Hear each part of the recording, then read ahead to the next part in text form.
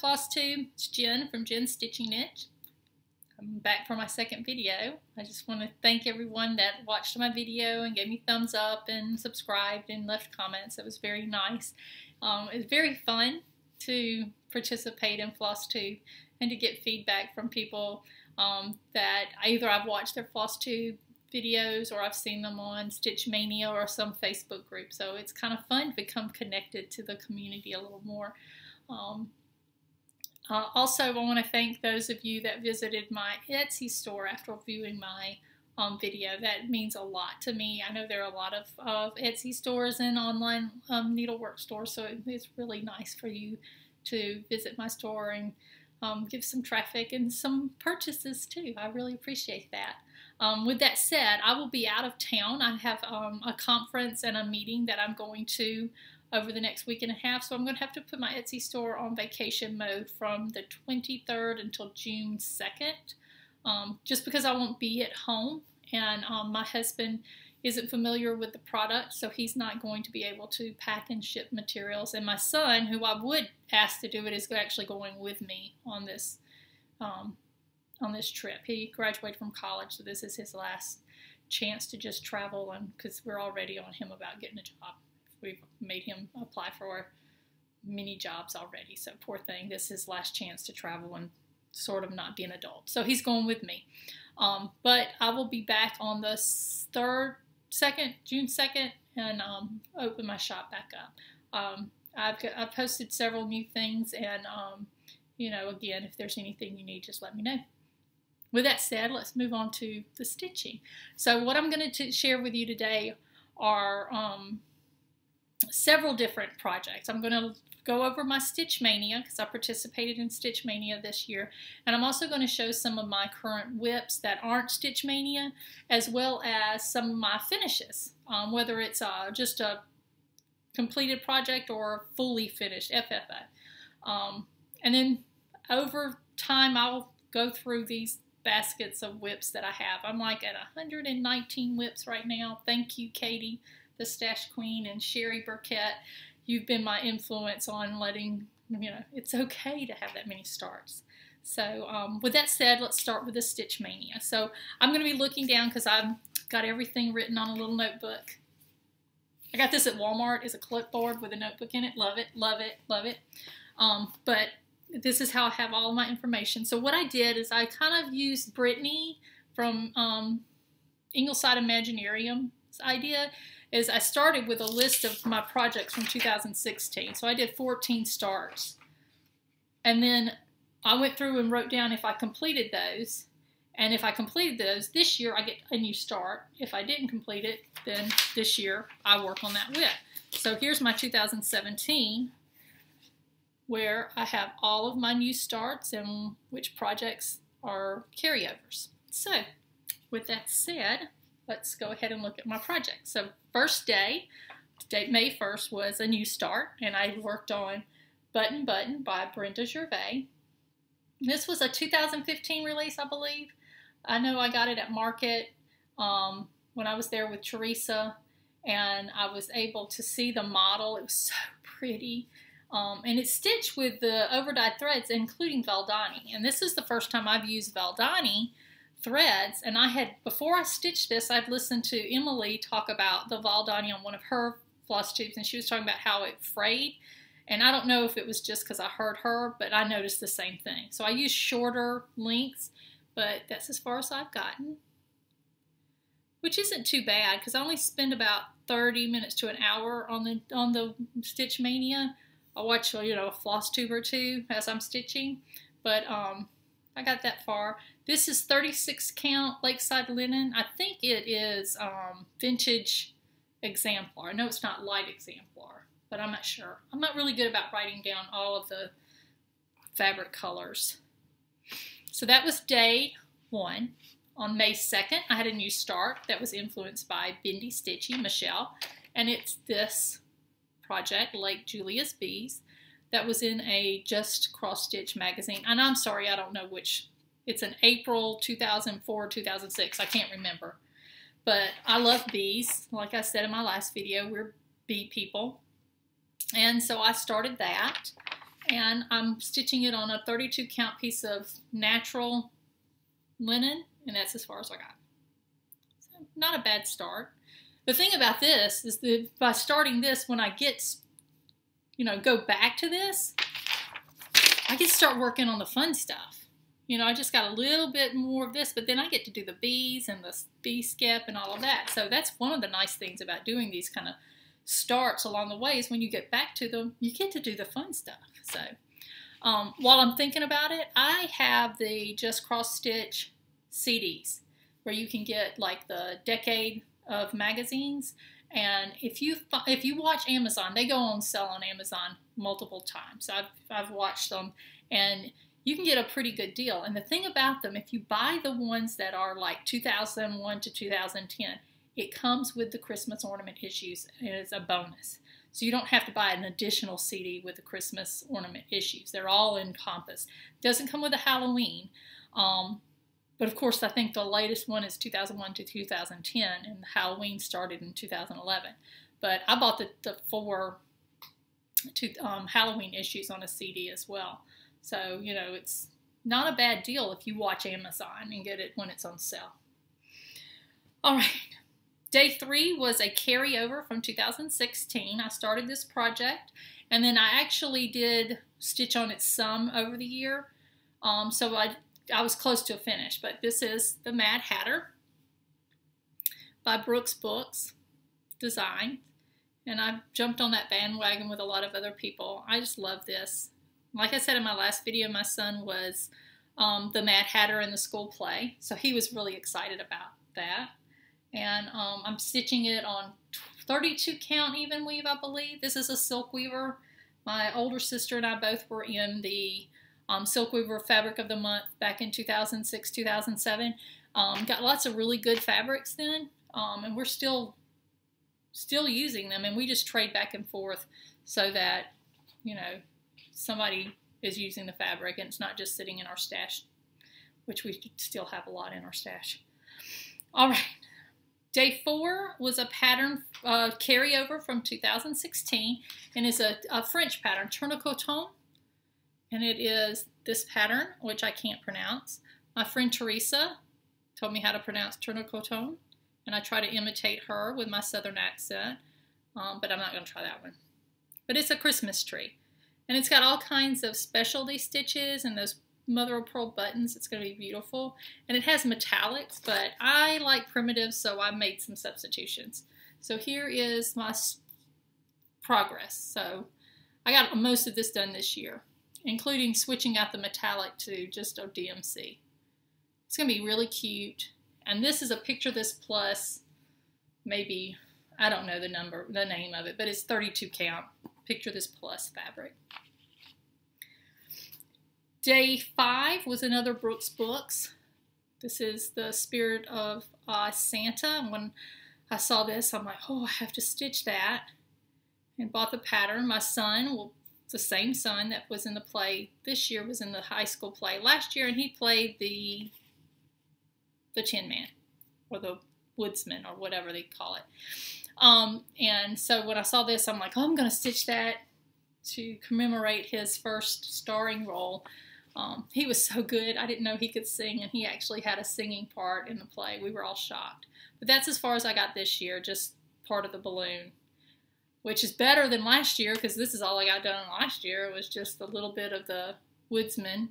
I guess I turned that in the handle to his axe. So I got a long way to go, but there's a lot of a lot of parts to this. Plus, there's all this memory thread and all this weird Kreinik stuff and I bought some of this. This is like, um, oh, I forget what it's called.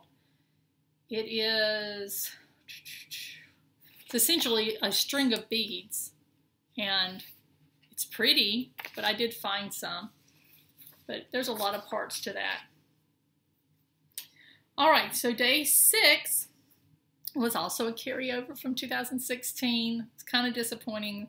I didn't finish very many projects, but I still got to stitch a lot of fun stuff. So this is um, Cherry Hollow Farm sampler from Stacy Nash. I believe this is a 2015 um, release as well. It was a kit and I have just under half of it done. So this is a 30 count or 32 count. No, it's 36, 35 count Weeks Dye Works um, using Weeks Dye Works threads. But I just haven't made a lot of progress with this one. I stitch on it, but I just don't get very far. So probably watching a good floss tube video when I'm stitching this.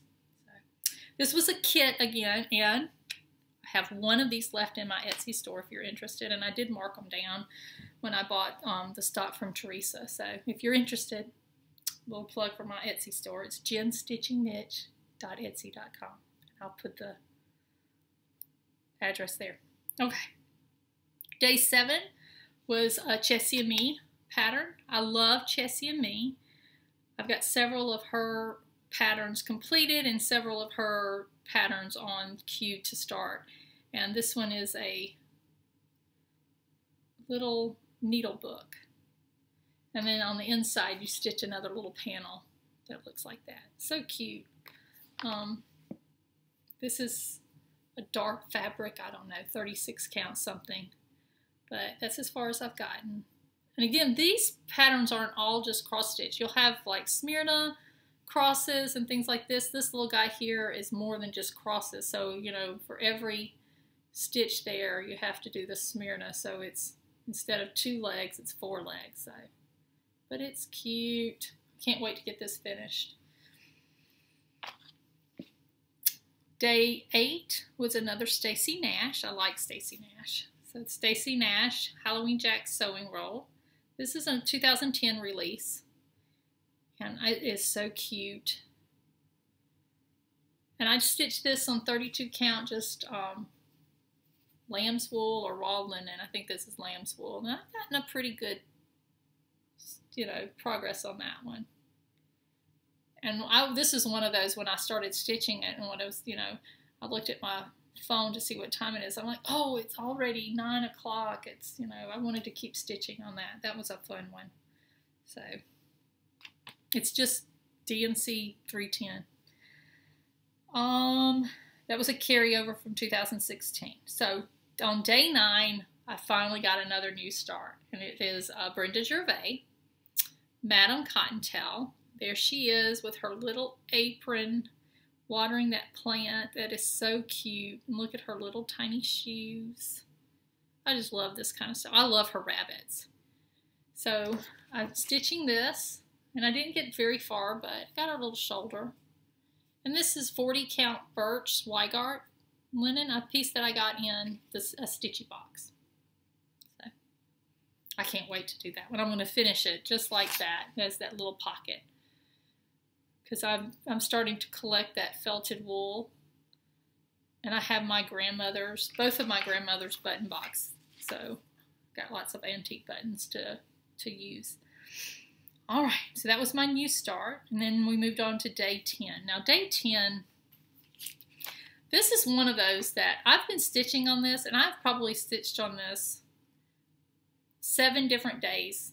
I don't know. I've stitched on it a lot. I should be finished, but it is my nemesis. I am not enjoying stitching this. This is Birds of a Feather Alphabet Sampler.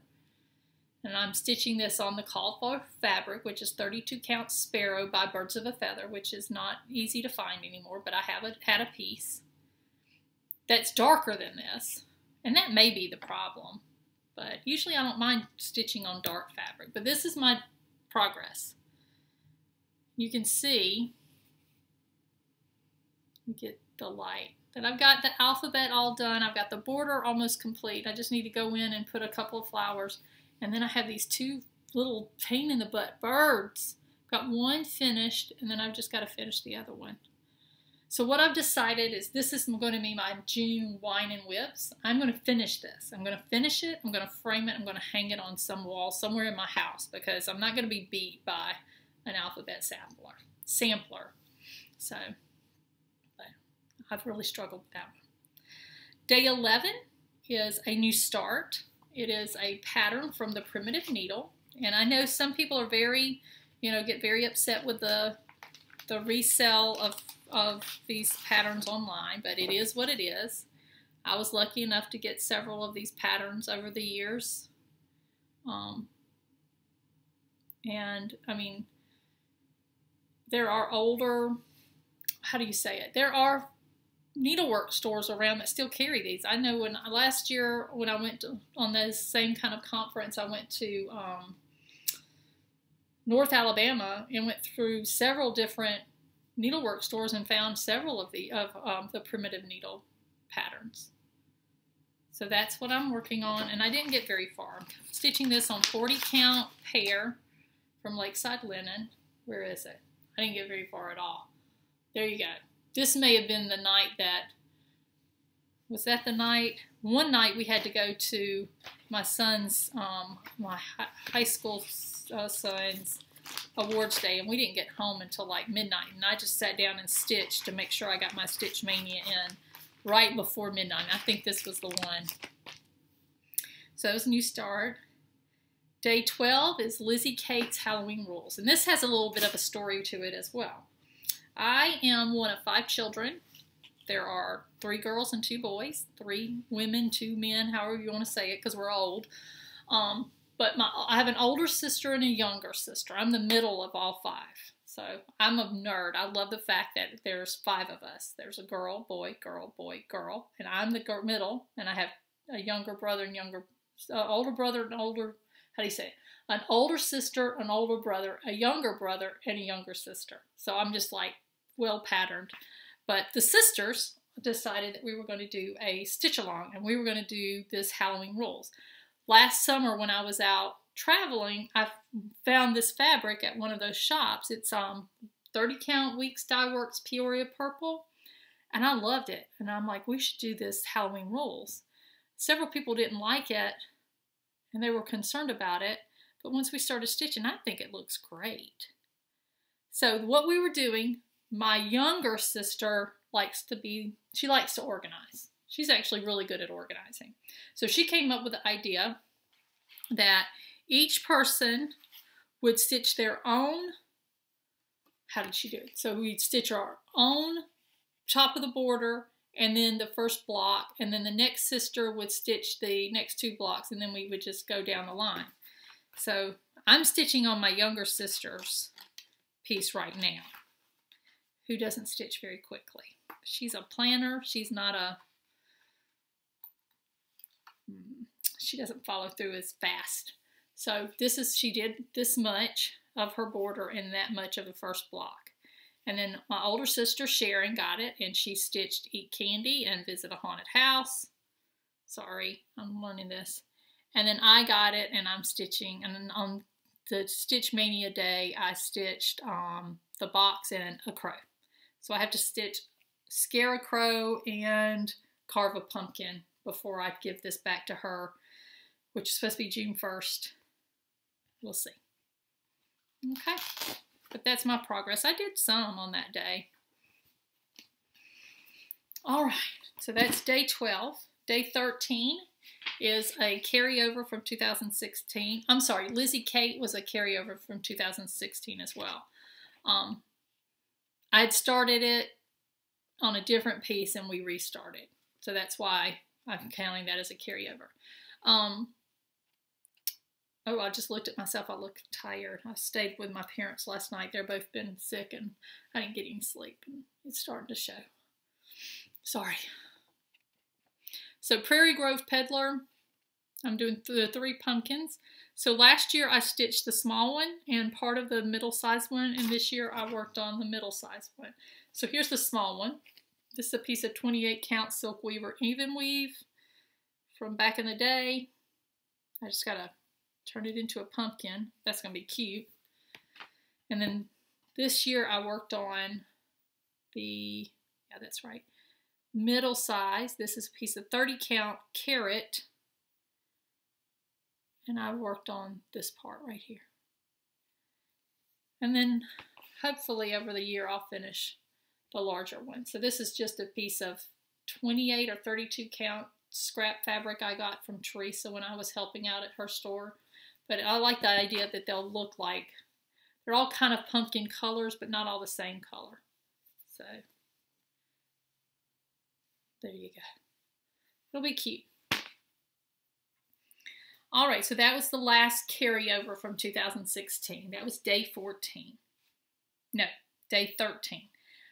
The next four days I got new starts, so I was excited. So day 14, I did Kathy Barrick Bird's Eye View. I'm really obsessed right now with Kathy Barrick's birds. I love Cooper that was released this year. It's just so pretty and the colors. And so I'm stitching this on 40 count Heritage.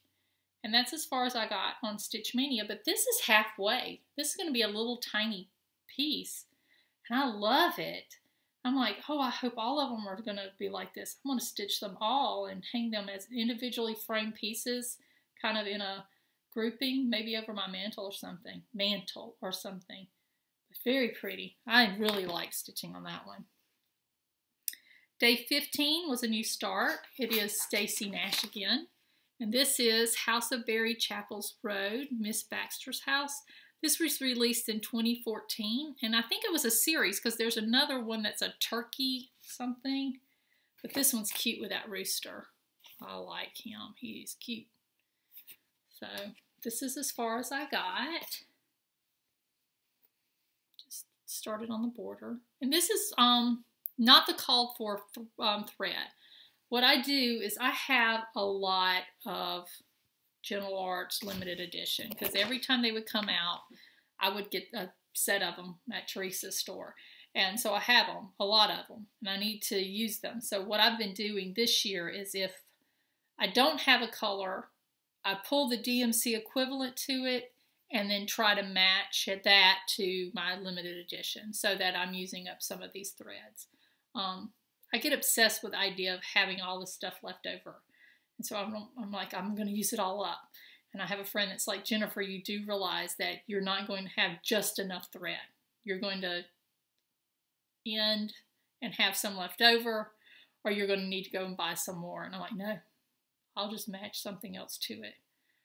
My happiest days is, I don't know if you've ever had this happen. I'm sewing with my sewing machine, and just as I finish a project, I use the last of the thread. I've had that happen to me three times. It's like luck. Beautiful day. I'm like, oh, I cannot believe that. So I know that does not happen very often, but three times for me it's happened. All right, off topic. Day 15 was another new start. This is, um, no, excuse me, day 16. This is Brenda Gervais, Three Black-Eyed Susan. So this is for Michelle at Striped Rose, the striped rose. I was watching her video when I started stitching on this, and she pulled up a project that she was doing, which is Matilda Hornbuckle, which I'm also doing out of one of the Halloween um, Just Cross Stitch magazines. And she's talking about how much she loved these little pumpkin head people. And I'm like, me too. I'm stitching on one right now. And that's as far as I got. So this is a 30, no, this I think this is a 40 count um, Coco from Weeks Dye Works. I love this. This is going to be beautiful. Okay. And then my very last um, Stitch Maynia project was day 17, Thistle Stitches from Jeanette Douglas. And I love this series that she does. I've done five of them, and, and then I think I have like three or four other ones. Um, I buy the thread packs because I know they're expensive, but it's cheaper than trying to buy the thread yourself. And they are just lovely. You get to use those beautiful threads. You get to do all kinds of specialty stitches. And they fit, if you stitch them on a 32 count, they fit into an 8 by 10 frame. All of them that I have done fit into an 8 by 10 frame. So that's my progress. And I can't wait to get back to that one. That one's pretty. It's on 32 count lilac linen. So that was my Stitch Maynia. It was fun. Um, honestly, I was ready for it to end because I was trying to do that and do the, uh, excuse me, the Mill Hill Stitch Along and um, do my WIP of the Day and three day focus. So some, you know, I'm just stitching on four days, four different things during the day. So this is how I do my rotation because I'm a nerd. I make my list. I got this little pad of these weekly planners from Tuesday mornings for like three bucks. And I just listed, you know, there's the Stitch Maynia, three day focus, WIP of the day, I had um, the uh, Emerald Stitch Along Day that Monday, and then um, the Mill Hill. So, the, you know, Monday I had five different projects. Then I got all five of them, all those checks. And then, like today, I'm supposed to be stitching on Gingerbread House from Victorian something. And then also Sleepy Hollow, which I've been working on Sleepy Hollow today. So Sleepy Hollow, the Sleepy Hollow sampler, this is one of Teresa's designs from under Raise the Roof, available through my Etsy store if you're interested. It's an older design. Let's see, 2003. And I just think it's so cute. This model stitched on Lakeside Linens Wood Smoke, and I had a piece of it, and this is my progress. And um, as soon as I finish this, I think I'm going to go downstairs and sit and watch Flosstube and see if I can finish this. I just have the little guy, the, what's his name? Headless Horseman and a little bit of the road down there to go. But it's going to be so pretty. It is fun to stitch too. Love this one. Love the colors.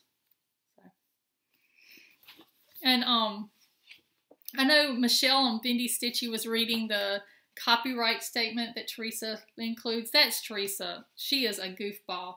And, um, you know, I know she got a kick out of her, you know, don't make a copy, not even by a monk. But that, that's Teresa. She has a great sense of humor. So, all right, so that's my WIP of the day. Um, some of the other things I was going to show you are some of my finishes. So I've got, you can see behind me, I have this bookshelf. So last time I videotaped, I had the computer just sitting on there. And this little bookshelf just gets covered. As I finish things or collect things, I put them on there. So you can say I collect Lalaloopsies. I love Lalaloopsies. And then I do like the little Biscornus. I collect these Tsum Tsum things. It's, I know, whatever. But um, I just display them and then you can see this shelf above it. I've got a couple of shelves and I just have all kinds of these projects stacked on there. So I pulled some of them down to show you and then I'll pull others down. Some of them are very similar to what I'm going to show you. So here are some of my FFOs. So let's see. I'll start with this one. This was from uh, 2015 release. Um, oh, what's the name? It's one of the Blackbird Design books. And let me see. I've got the book right here.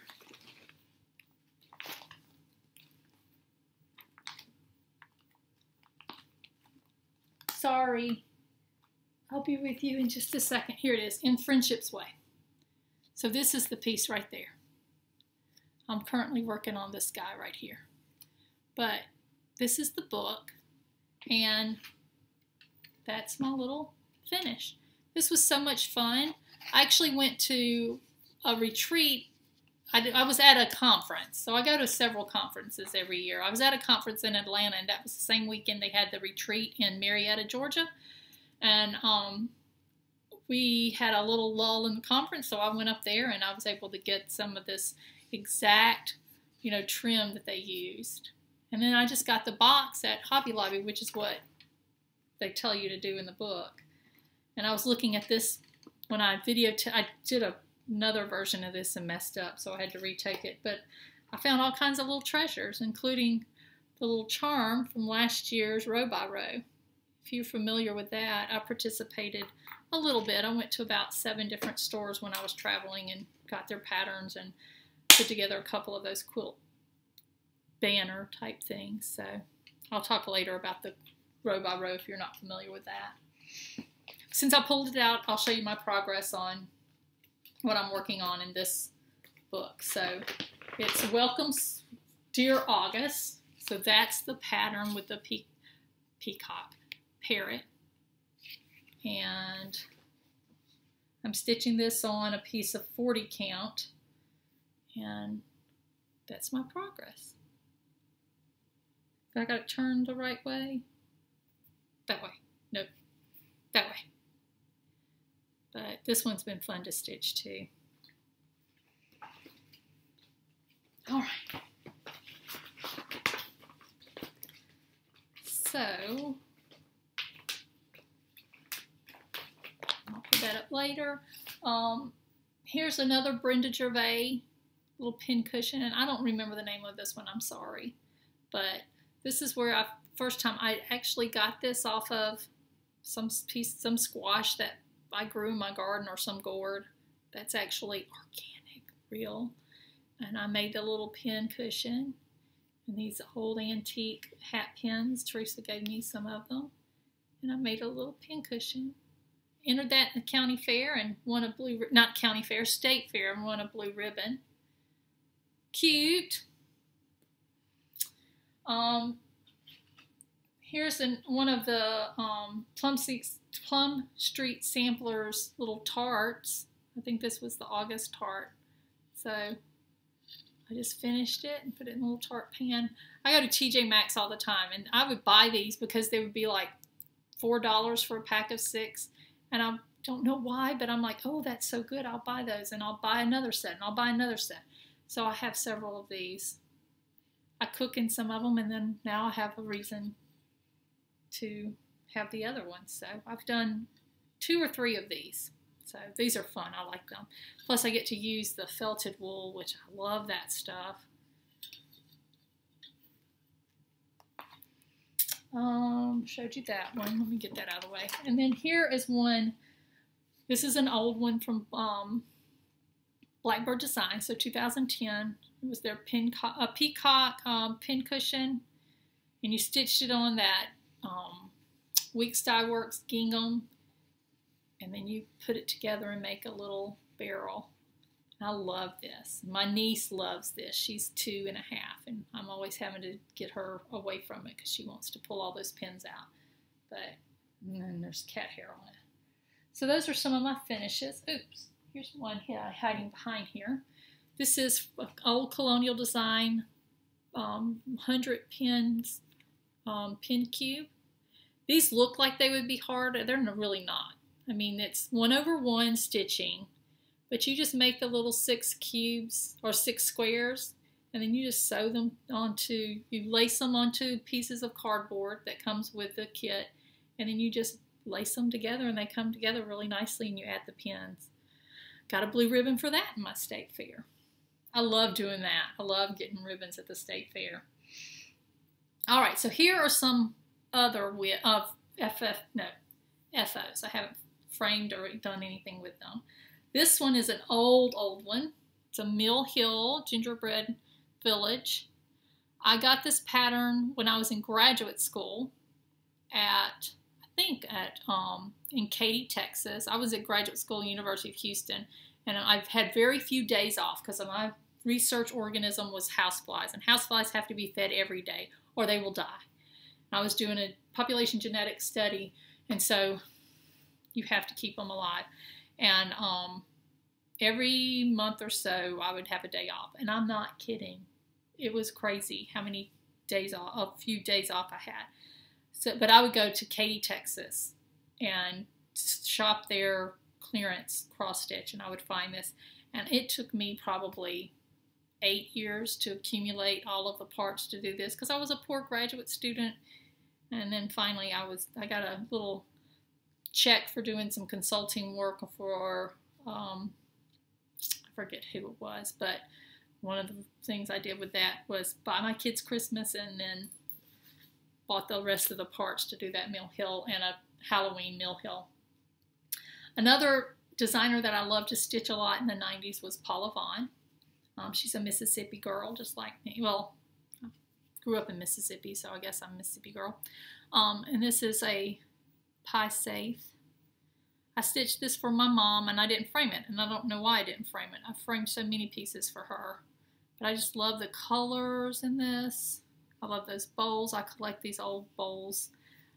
I have my great great grandmother's mixing bowl and my great grandmother's mixing bowl, which um, my great grandmother was 18 something when she was born.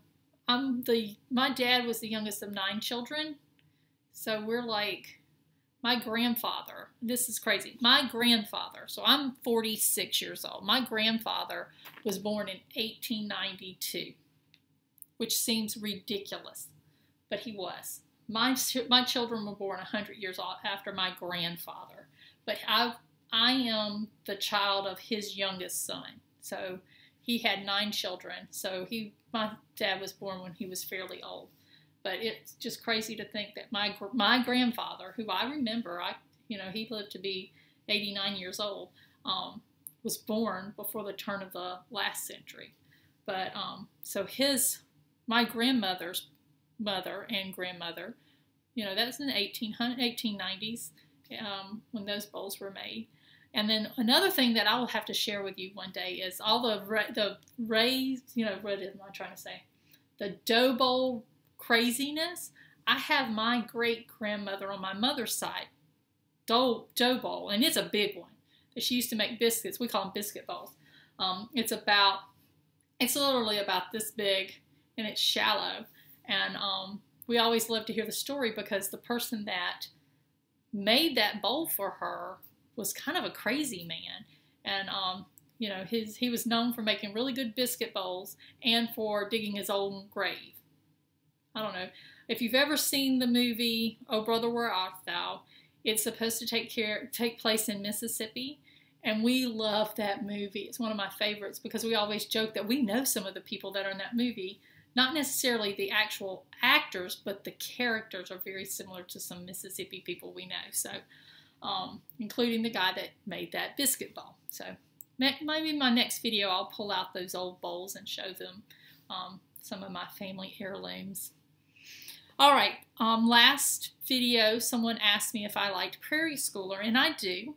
And um, before I met Teresa, we did not have a uh, local needlework store in Missis in my area of Mississippi, but there was a frame shop in Jackson, which is about two hours north of us that had cross stitch. And we went in there one day, my sister and my friend, and I found this pattern, or this series of pattern. This is the August Samplers from Prairie Schooler, and I bought it because they had them all three stitched up and framed, you know, as a threefold piece. I just thought it was gorgeous. So I've stitched them. And then when I finished, nobody else in my family said they wanted it, so I sold the pattern on eBay and then Teresa's like, oh my goodness, that one's worth a lot of money. Well, it is out of print, but I think that they're going to re release these because if you pay attention to Hoffman, um, who's doing the reprint, about two weeks ago, and I ordered these for my shop, they re released the spring samplers. And I was on looking today to see if there was anything that I needed to order before I left on this trip and they re-released the summer samplers. So they may re-release these. I know people don't like the the thinner paper, but it's you know paying for the thinner paper from a a needlework store is probably going to be cheaper than trying to find them on eBay. So, all right. Another finish is Lizzie Kate's Halloween Mystery Sampler. I stitched this, I finished this. This was the first finish in my new house. We built this house back in 2013 and moved into it. And I can remember sitting in our brand new living room finishing up this little pumpkin head cat right there. So cute. I love Lizzie Kate's Halloween stuff. I love Halloween projects. I've got a whole bunch of them. Here's another one. Primitive Needle, Voodoo, Alphabet Sampler, that's on a piece of 40 count Weeks Dye Works something. McKenna from Every Stitch Counts. She finished this one. This is Remember Me by Birds of a Feather. And this is on some piece of solo dye silk weaver that I had. And I love it. I love those little houses. I really want the frame that this was originally supposed to be framed in, but you can't find that. And here's another one. This is a Stacy Nash. This is Christmas time at Hollyberry Farms.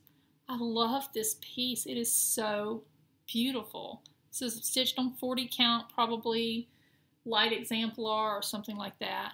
But that border is gorgeous. And I finished this thankfully, or thanks to Teresa for challenging me because she's like, let's see if we can stitch it fastest. And she stitches like the wind when we get together, you know, on the old cooking shows where they would start a, a recipe and they put it in the oven and they pull it out completed in the of the, of the other oven. That's how Teresa stitches. She's like, stitch, and here it is finished. So when I beat her on stitching that, I was so proud of myself. Oh, I'm very competitive. So she knew what she was doing. Here's another one of those that's hard to find. Everybody's wanting the, and I finished it years ago. Competition, my friend Lisha and I were stitching this. I think she beat me on this one though. But it's Tiger Lily, stitched on a piece of 32 count. I think this is Lakeside Linens. It feels like it. It may be Silk Weaver, but so pretty. These are all out of a bag of um, that I had pulled things that I was going to go get frames for. I just need to get to our little frame shop, which we get good deals on frames. This is a Blackbird Designs Easter Parade. I've seen this on multiple floss tube videos lately. Again, stitched on 36 count old silk weaver. And here's some Halloween, I mean, excuse me, Halloween, Christmas. This is Jeannie Bean Christmas sampler from Teresa.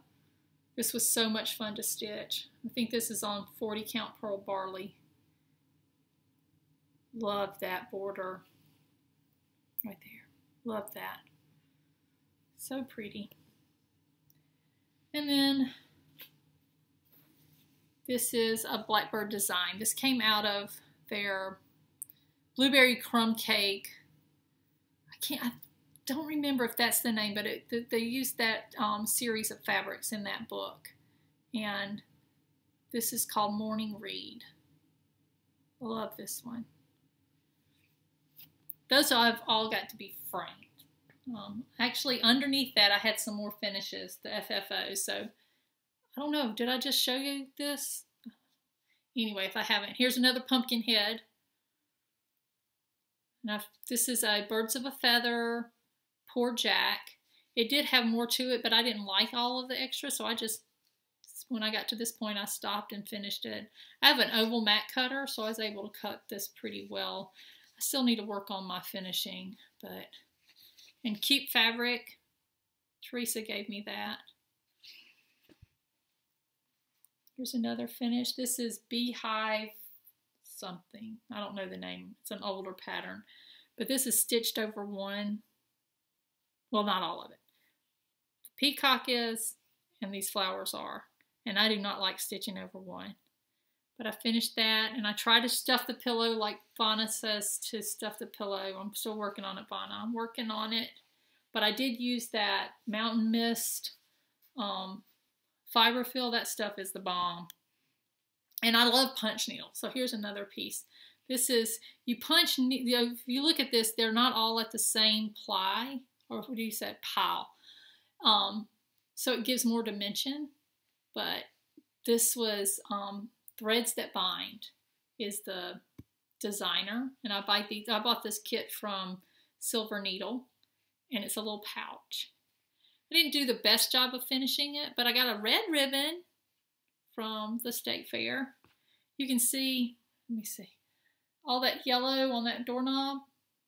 That's a bunch of ribbons. I I'm obsessed with getting ribbons at our state fair. We do not get the best ribbons in Mississippi, but I want to get the most ribbons because all you get are ribbons, and if you get the most ribbons, you get a you know a, a little extra prize. But um, I keep thinking of all the things I want to enter in the state fair. My sister-in-law makes fun of me because I'm I'm a bit obsessive, but let's see, there's two frame pieces I wanted to share with you at the end. And these are um, some of Teresa's patterns. This is Jane Pattison, which is probably my second favorite of hers. I loved stitching this. This was stitched in wool. This is my favorite part right there. So this is a reproduction sampler, Jane Pattison. And I'm going to frame this well, excuse me, I've framed it already, I know. I'm stitching Christmas Garden by Blackbird Designs, and I think they match. I'm, I think I'm going to frame them and display them next to each other. I just think that this is so pretty. Got crowns for people who like crowns. It's got these little motifs on the outside of the border. This was just a pretty one. And then my last piece I'm going to share with you is another one of Teresa's that has a funny story to me that I've made up. This is Elizabeth Milner. It is a reproduction sampler, and the age of this young lady was 12 years when she stitched this. And if you look at it, she didn't really pay attention. So let's see over here. You see, she did the border, and Teresa charted it just like it was stitched. And it didn't match up, and she just didn't care.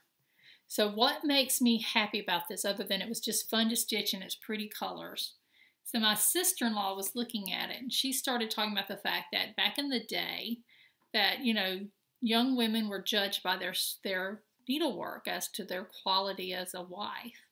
And she said that some of these young ladies would stitch a pretty pattern or a pretty sampler, and then they would have their backup sampler.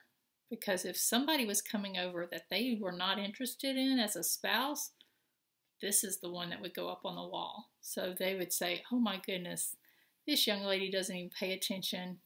She probably won't make a good wife, and they'd leave. So I'm like, that is so funny if that's true, that they had a backup plan to kind of ward off bad matches by using their poorly, intentionally poorly stitched samplers. I don't know if that's true, but to me, that's hilarious.